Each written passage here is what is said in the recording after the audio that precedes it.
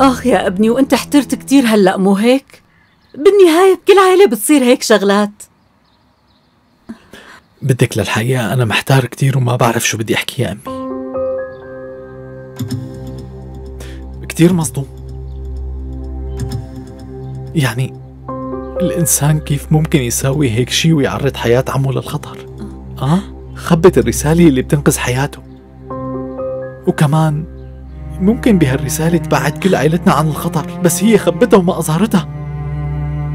يارين سيئة كتير لهالدرجة؟ لا هي مانا سيئة بس تصرفت بولدنة. وبعدين صار في سوء تفاهم بالقصة. يارين كانت ناوية ترجع رسالة لعمها.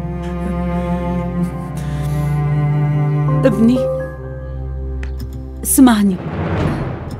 ما في أسهل من الهدم بحياتنا بس البناء صعب. برأيي تفكر ولا تختار السهل وتقهر حالك وتقهرنا أنا كنت بدي ابني حياتي معها حبيتها وخطبتها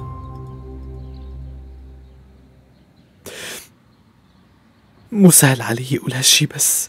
ما رح أقدر كمل. لا وقف. لا تساويها ما بتتخيل قد صعب علي أحكي لك هذا الشي باعتباري امها بس أنا رح أقولها. لا تعملها. لو سمحت خلي الخاتم بإصبعك. اسمع شو بدي أقول لك تمام يارين عندها تصرفات غبية وعنيدة كمان وأنت صرت بتعرفها هارون.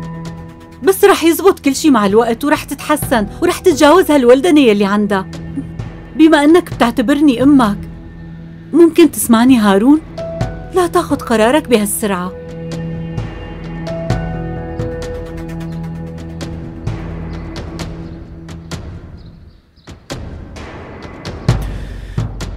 أنا بحاجة لشوية وقت مشان أفكر هلأ عن إذنك يا أمي.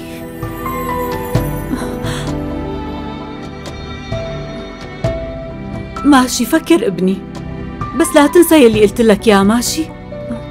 ليك أحيانا ما بتكون الأمور مثل ما أنا مبينة مو هيك؟